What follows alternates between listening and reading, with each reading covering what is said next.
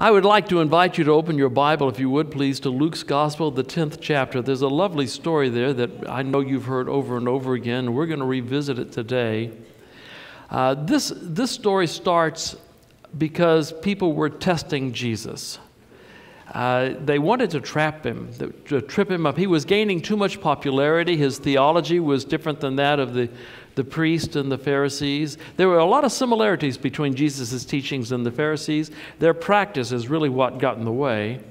But when it came to the application and to the, the, the elements of grace, Pharisees didn't get that. They didn't like Jesus changing what they had taught. And so they tried to trip him up because they realized that he was, this was something new and different and it was opposed to what they were doing. And so they tried to trip him up. And we find that going on in Luke's Gospel, the 10th chapter, starting down here with uh, verse 25. And it says, And a lawyer stood up and put him to the test, saying, Teacher, what must I do to inherit eternal life? There's actually more to this than what meets the eye. In those days, when, when a teacher was ready to teach, he would sit down. And if you were in the synagogue, everyone would remain standing while the teacher sat down to, to speak. Aren't you glad we don't do that now? Who knows how long I would preach? If I was sitting down, you were standing up, it would really be painful for you. So, but we don't do that. We stand up to preach and you sit down. But there, everyone would sit down, including the teacher. He might be on an elevated level, you know, so everyone could see him. And then the students, if you were going to ask a question, you would stand up in order to demonstrate respect for the teacher.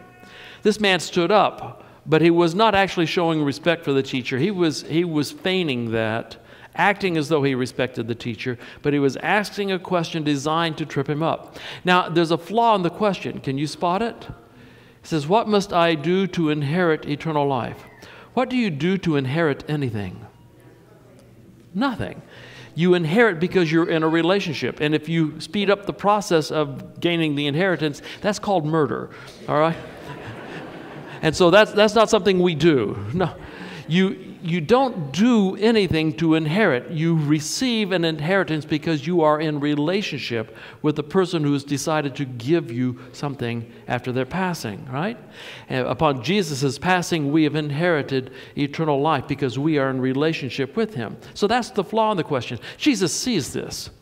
And he knows now automatically why this young man is there. He knows, he knows the law. He knows you don't do anything to inherit.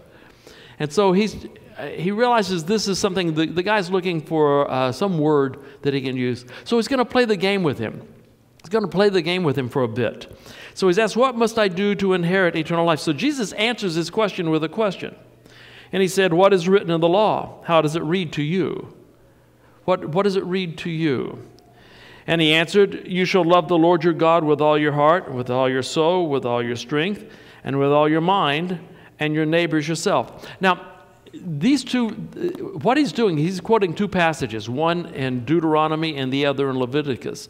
There's no hint in ancient writings that these two passages were ever linked together until Jesus did it.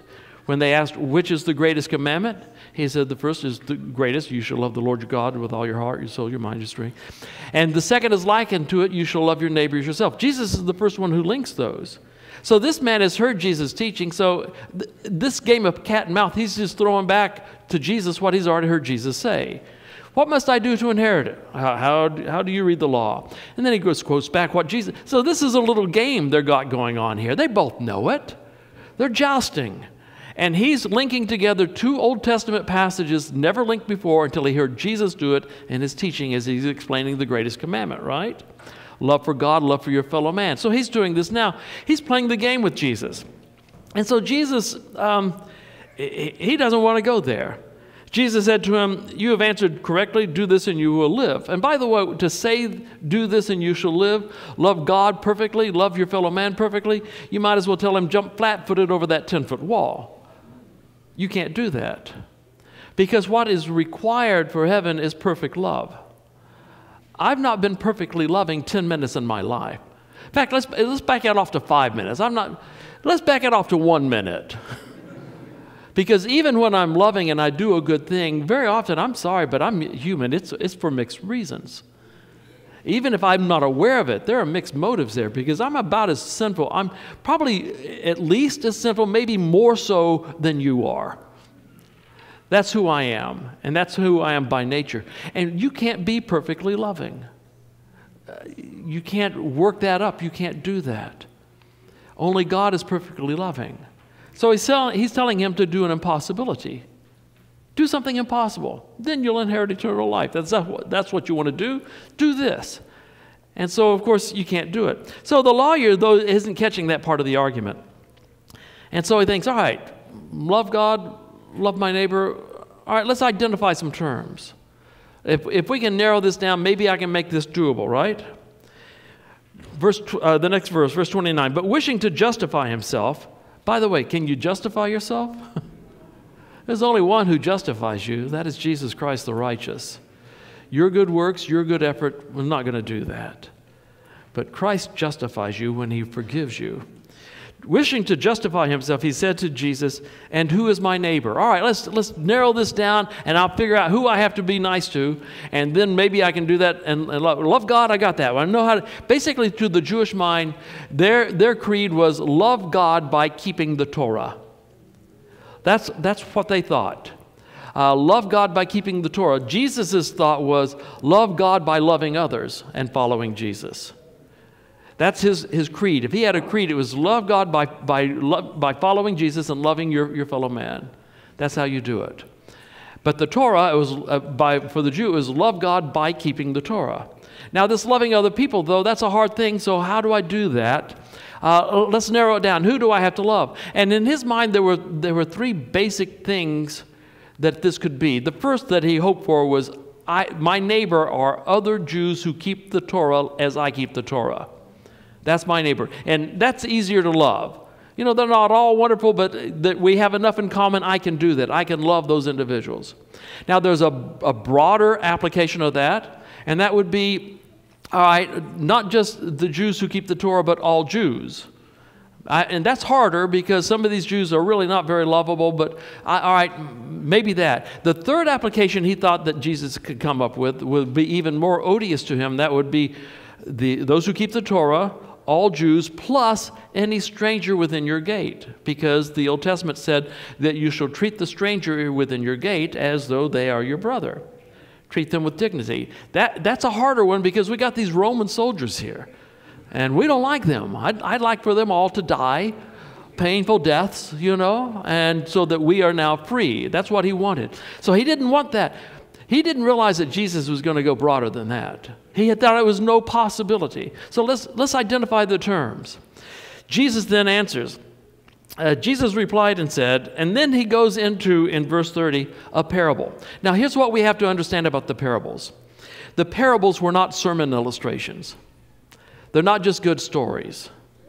Jesus was a Jewish theologian, and Jewish theologians shared their theology by parables.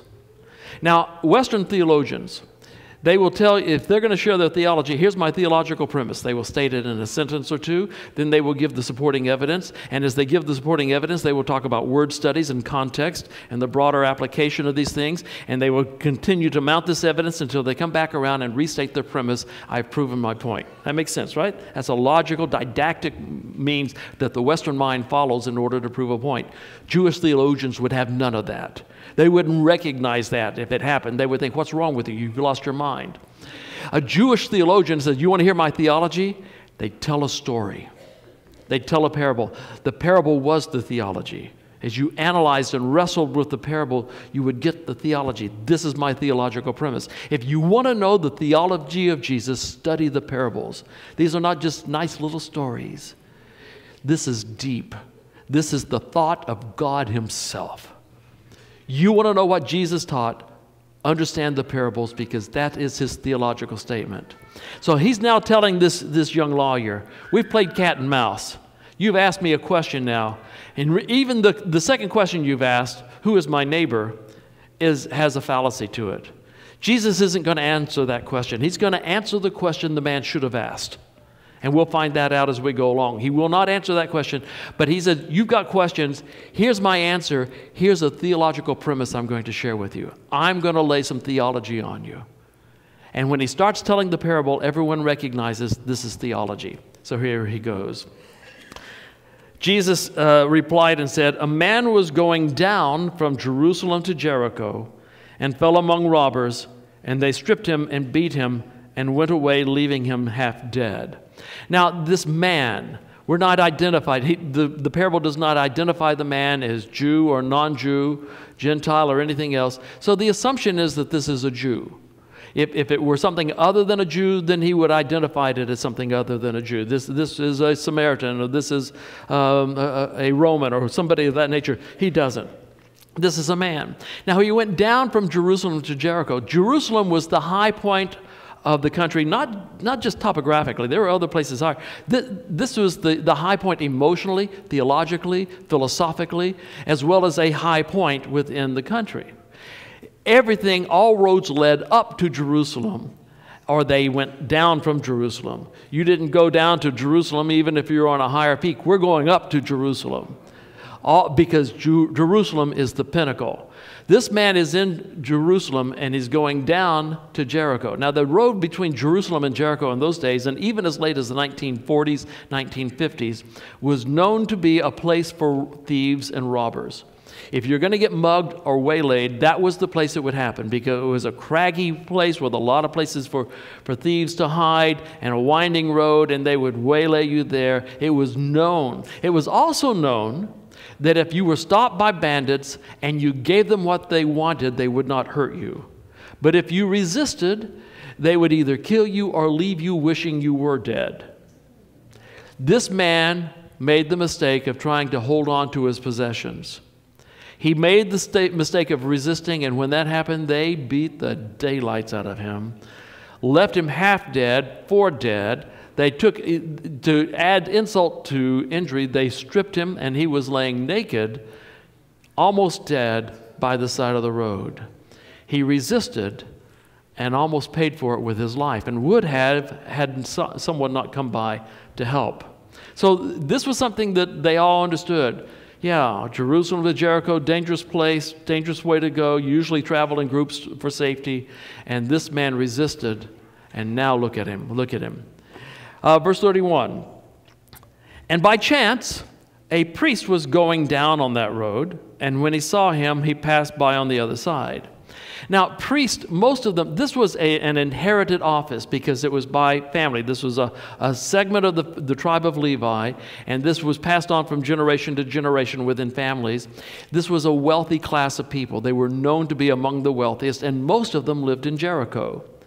And you didn't serve as a priest in the temple except for a, maybe once a year, maybe twice. You'd go up for two weeks. When you went up to, to Jerusalem from Jericho for your two weeks, and that would be allotted to you by lot, you would take with you two people, and this was an honor for them to serve with you during your two weeks in the temple. The first person you would take would be another Levite, not a priest, but a, a, a part of the, the tribe of Levi, because it was their job to care for the temple the priest was a secular with a separate family who did the priestly work and then you had the, the rest of the tribe who were trained in various aspects of caring for the temple so this was an honor to be chosen by the priest to go up and assist him as he served in the temple for two weeks you would also take a layman someone not necessarily of the tribe of levi who would go with you and again it would be they were doing the grunt work the, the you know the, the dirty work and while the priest served the priestly function but it was still an honor to do this. So you would take those two people with you. The priest was wealthy. And the priest, being wealthy, you would never find a priest walking up the, the, the road, uh, some 17 miles or better, to, from Jericho to Jerusalem, or walking back. He wasn't going to do that. He can afford an animal, he's going to ride. The priest is going to ride because they were wealthy. He would not walk. He's not going to waste that kind of time. He's going to ride. And so this priest was riding, having probably spent his two weeks in Jerusalem serving the temple. This is a spiritual high for him. And he's coming back. And on the way back, he sees this man by the side of the road. Now, he's got a dilemma because the law states that if this man is a Jew, he must help him, regardless. He must help him. But he doesn't know if this man's a Jew. You would recognize whether or not he's a Jew by whether or not he's circumcised, and that requires a bit of close examination that he was not interested in doing. Um, and we would probably require that he touch him in order to examine, so this is not something he wants to do, right? Um, also, you, would uh, identify a Jew by whether or not, by how they were dressed. Well, he's not wearing anything. His accent, he's unconscious, he's not speaking. How would he know whether this is a Jew or not? So that's one dilemma. He's required to help him. If he's not a Jew, he's not required to help him. If he touches the man and the man dies, then the priest is declared to be unclean, and he cannot serve again as a priest until he goes back to Jerusalem and arranges for a costly week long purification ceremony that he's got to endure. He's already spent two weeks up there. He's over two weeks because, with travel time out of his schedule, he doesn't want to go back and now spend the money to organize this, this costly purification ceremony, spend yet another week in Jerusalem. And you understand? This is, this is inconvenient for the man. And if he touches the man and he's already dead, then again, he's got to go through the purification ceremony. He doesn't want to do that. He doesn't know who this guy is, if he's dead or alive. So he makes the assumption that this man is either already dead, so he can't touch him, or that he's not a Jew in the first place, and he goes by on the other side. That's what's going through this man's mind. So he's had to make a decision. Is this man a Jew? Is he alive? Is he dead? He's made his choice and he's gone by on the other side. Verse 32 Likewise, a Levite also, when he came to the place and saw him, passed by on the other side. Now, again, in the listener's mind, they're assuming, all right, this guy spent two weeks doing his priestly duty. He's going back home. The Levite may not be as wealthy as the priest who invited him to come along, so he's walking.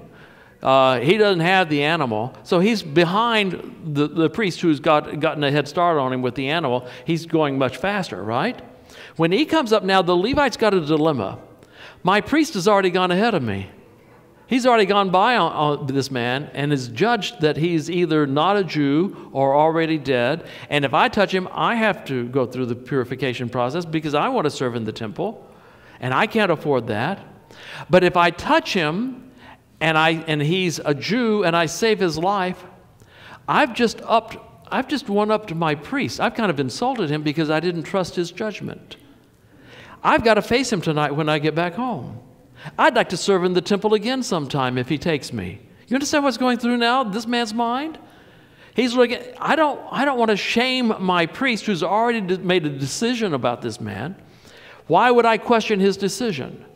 I don't want to make, make, make, put myself in bad standing with him. So he said, I'm going to trust the opinion of the priest with whom I have served, and I'm going to go by on the other side too, so I don't have to have the purification ceremony. And if I'm, you know, if the priest is wrong and I save this man, I don't want to face the guy because I've now just shown him up. I don't want to do that. Now, if you're, if you're listening to this story, you assume that the next person is going to come by as the layman that went with the priest up there to, to do the priestly duty, right? You, you, you tell a, a, story about, about the church. You got the conference president, you got the pastor, and you got the head elder. Well, first came this conference. That would be a good joke, right? You go in that, that kind of order. That's what they're expecting.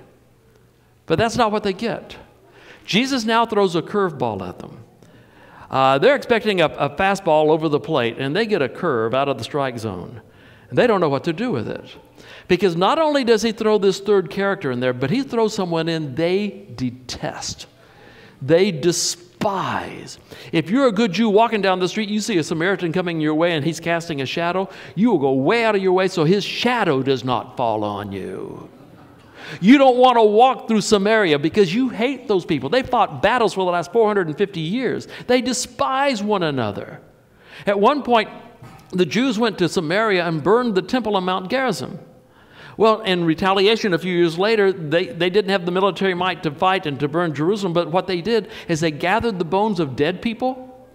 And the night before Passover, they, they snuck into the temple and they spread the bones throughout the temple, thus making it unclean so the Jews couldn't celebrate Passover that year because they had to purify the temple. It's just meanness. But they were happy to do it because they hated each other. If you wanted, if you were a Jew and you wanted to really insult a man, you call him a Samaritan. I am not. Those are fighting words. They, they hated each other. And Jesus now introduces this character into the story, and be, beyond that, he makes him the hero. That's like telling a story in the Old West about a cowboy and an Indian and making the Indian the hero and the cowboy the villain. You know, you don't, you, those are fighting words. You're going to find yourself on the wrong uh, end of a six shooter if you do that. And In the deep south, in the days of slavery, it'd be telling a joke about a white man and a black man and making the black man the hero. That's how prejudiced they were. Jesus cared nothing for their prejudices and wanted to confront them. And so he throws this character in there who they despised. They would say that a Samaritan, the reason God made Samaritans is so that he would have fuel for the fires of hell. That, that's how much they hated these people. And Jesus takes this person hated by them but loved by God and used this man as the hero of the story. So we come now to the third person in the story. Verse 33 But a Samaritan, curveball, they don't get it. Oops, where did this come from? Who was on a journey came upon him, and when he saw him, he felt compassion. In fact, the word used for compassion is he's about to cry. This is a deep he's, sense of emotion as he feels this guttural response to this man. Oh, my word, no. Here you are naked, you're about to die. I, I've got to help you there was a genuine emotional response to the sight of this man. Not knowing if he was Jew or Samaritan, he assumed that he was a Jew. He's in Jewish territory, right? That's what you have to assume. He would know that this is a man who would walk on the other side of the road just to stay away from his own shadow. He knew that. He knew the prejudice, and still he felt that kind of compassion for this man. He saw beyond the prejudice, he saw a human being. And so he felt compassion. And he came to him and bandaged up his wounds. By the way, if you were on a journey, you always carried bandages. You carried wine because of the alcohol content, then you would pour it on an open wound in order to help clean it. You would also carry oil for soothing purposes, and you might even mix the two together and apply them at, at the same time the oil and the wine in order to, to heal and soothe at the same time. Pouring, uh, pouring um, oil and wine on them and he put him on his own beast. So this is a wealthy man. He's a wealthy Samaritan on business. He's got a beast. He put him on his own beast and brought him to the inn and took care of him. By the way, archaeologically, when they do the digs, they have never once found an inn that was not located inside a city or a village, which means that this man carried a half dead Jew into Jericho. You think about that. You think about in the, in the, in the South, a black man finding a half dead white man, taking care of him, bringing him into town. Who do you think the white people are going to figure did this? You know it that prejudice runs strong. That means that this man is putting his life at risk. He's not just slowing down his own journey, he's not just going out of his way, he's not just spending the money for the hotel, he's not just spending his, his, his wine and his oil and his bandage on this man. He's risking his life to redeem him. Who has done that? Jesus did that. The Samaritan is the Christ figure in this story. He represents God. He represents God in the flesh, Jesus Christ. Can, can you see the genius of Jesus in telling this story this way? Oh, I love him. Oh, he, he challenges every ugly thing we do our social ugliness, our, our, our, selfishness, our pride, our lust. He challenges it. He takes our values and turns them upside down. He does that with our gender preferences, He does it with everything across the board. He, scripture says He sees not black or white, He doesn't see, see male or female, Jew or Gentile. He sees people. And He blesses and redeems and uses you according to His will. And took care of him says on, on the next day he took out two denarii and gave them to the innkeeper and said take care of him and whatever more you spend when i return i will repay you why did he do this? Because he knew that if the man took longer than that to heal and if the, the, the money he left was not enough by law the innkeeper could sell the man into slavery in order to recoup his losses. Why save the man's life only to have him end up as a slave he has no money to pay. The man was naked. There was no hidden purse. He's got nothing. So why would you save his life only to have him end up in slavery. He's not going to do that. So he redeems him to the uttermost. He saves his life, he promotes his healing, and he pays for his freedom, for his liberty. Who else has done this? Jesus. This man is the Christ figure, the hated Samaritan, the Christ figure. Now Jesus asks the question. He's told the story. People are slack jawed because they hate Samaritans. And you, you making this guy do something good? Are you kidding me? And now Jesus asks the question that is the clincher. Which of these three do you think proved to be a neighbor to the man who fell into the robber's hands? There's more on that question than what you think. First of all, realize he's not answering the question, who is my neighbor? Let's limit this. He's saying, forget who your neighbor is. You need to be a neighbor. You need to choose to be a neighbor, and, and the person you choose to be a neighbor to is anyone in need, period. Age, race, creed matters not. Even if they live a sinful lifestyle, you're not the judge. They got a need, you can meet it.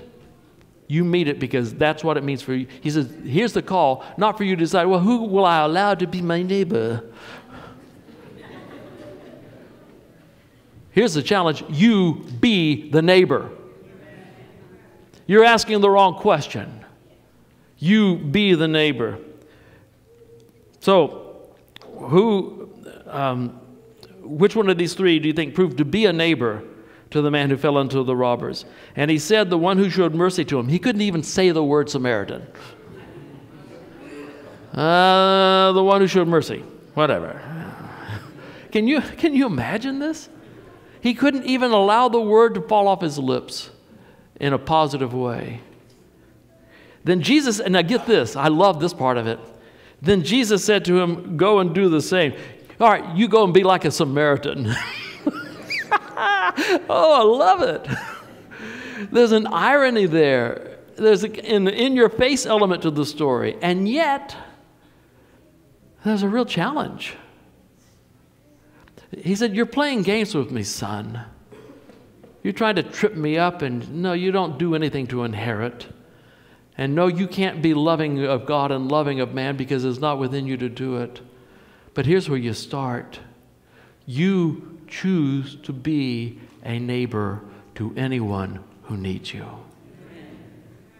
That's the story. That's the story. You see, when Jesus comes in, he changes you. He doesn't just, he doesn't change the surface. He doesn't change your title or your position from sinner to Christian. He changes you inside out. And the changes, sometimes we think about the changes as being externals. Well, now I no longer do this and I no longer do that. That's, that's the least of his concerns. By this they shall know that you are my children and that you have love one for another. That's what you want to know what the prophets railed against? Very little of it was about Sabbath breaking. Almost all of it was their treatment of the poor, the disenfranchised, the widowed, the orphan, the stranger in their gates. A failure to show love. He said, Why do you treat each other this way? God says, Love me and demonstrate it by following Jesus and loving each other. Everyone. Everyone. I pastored a church for a lot of years. Loved this church. I pastored there 17 years. And we, we were having four church services a, uh, a day in order to get everybody through. Our auditorium sat, uh, seated 600, and we had to have four church services every, every, every Sabbath. And so that meant that there were a lot of people coming through, and I couldn't greet them. I couldn't get to all of them, obviously. There are too many people for me to do that every week. But I noticed that there was a woman who came, and I, I knew the woman more by reputation. I, I had met her, and I'd met the man that she worked with.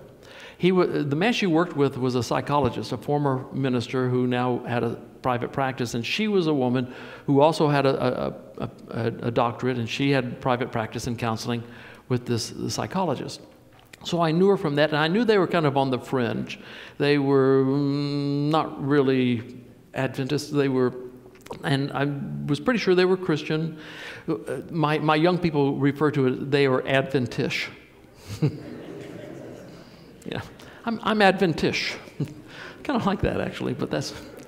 So uh, I, I knew that, but she, she looked very angry. She, she had this look on her face, anger. But she would be there every week taking notes, and I couldn't get to her to talk to her. There were too many people, right? And she wanted to get out quickly anyway. Every week. Her name was Peggy. And then I got a phone call. After a number of weeks of this, Peggy called me up and asked for an appointment. So I was happy to do that. She came into my office and she started to cry.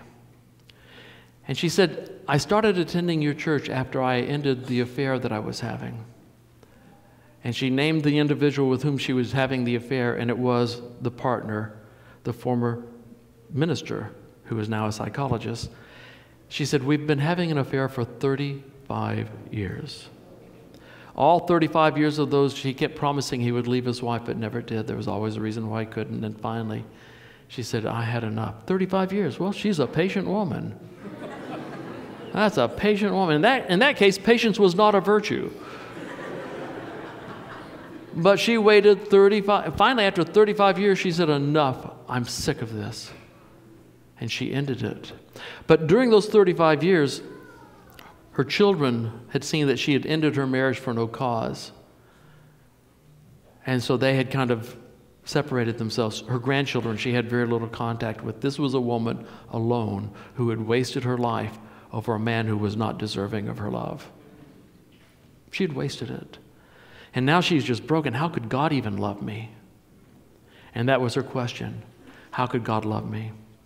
And opened the Bible with her and I shared with her the passages of God's redeeming love, of how eager He is to forgive, regardless of your sin, how eager He is if you confess, first of all, it says if we confess our sins, He is faithful and just to forgive us our sins. It doesn't say if you confess your sins unless it's been really bad and you did it for 35 years. It doesn't say that. You confess, He forgives, period, done. Also, says when you confess your sins and He forgives you, He says, I will bury your sins at the depths of the ocean. That's there's one place where we know the ocean is seven miles deep. That's seven miles of salt water covering your sin, and God posted a sign that says no fishing allowed. He says, I'll remove your sin as far from you as the east is from the west. He didn't say north from the south for a very specific reason. You start traveling due north, and eventually, where do you get? North Pole, right? You go to the North Pole. Which way do you travel from the North Pole? South. All directions are south of the North Pole. You, if you're going to move, you're going to go south. Doesn't matter which way you move, it's south. You go south. North meets south, but if you start traveling due east, you can travel east throughout all eternity and you'll never go west. East never meets west, and you will never meet your sin again. And the best part is, he says, I will remember your sin no more. You confess it, he, he buries it in the sea of forgetfulness. He doesn't remember it. In fact, if tonight you confess a sin to him, tomorrow you feel guilty about it, you confess the same sin, you know what he says to you?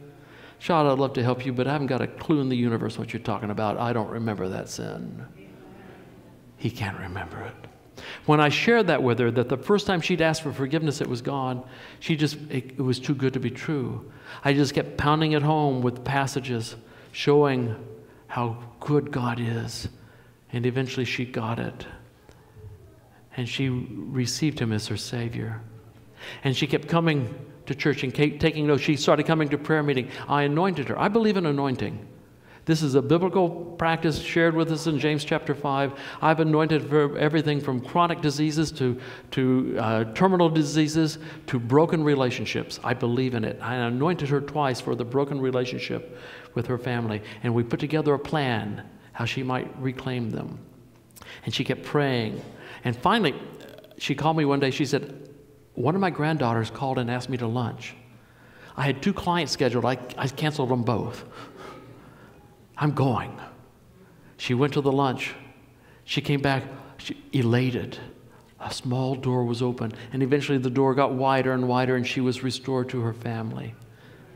God was blessing her. The anger was dissipating. There was no more anger. And then the man with whom she had the affair died. And his wife, going through his personal effects, found a stack of letters, not to Peggy, but to other women all over the world with whom he was doing the same thing. Now, that woman came to see me. You talk about one angry woman. She was angry. It's a good thing he was dead because otherwise he was going to be dead. and so I had to help her through that as she learned to forgive him so that she didn't live with that kind of resentment on her heart because that would kill her. And then Peggy came and she said, I know she now knows about the affairs, but she doesn't know about me. What should I do? I said, What do you think the Holy Spirit's telling you to do? She said, The Holy Spirit's telling me to confess it. I said, I'm not going to argue with him. If that's what you need to do, then let's do it. We put together a plan. And she confessed it to this woman. And the amazing thing is, the woman forgave her. Not only did she forgive her, but they became best friends. And they would sit together during worship and take notes. And when Peggy died, guess who was by her graveside? Guess who came? Guess who stood by her? But her new best friend. Jesus says, I want you to follow me. And more important than the Sabbath or your understanding of prophecy or your health message or anything else are these two issues love God and love each other. Here's how you love God you love God by following me and loving others. Don't ask who's my neighbor. Find somebody in help and need and be the neighbor by helping them. That's his message to you today.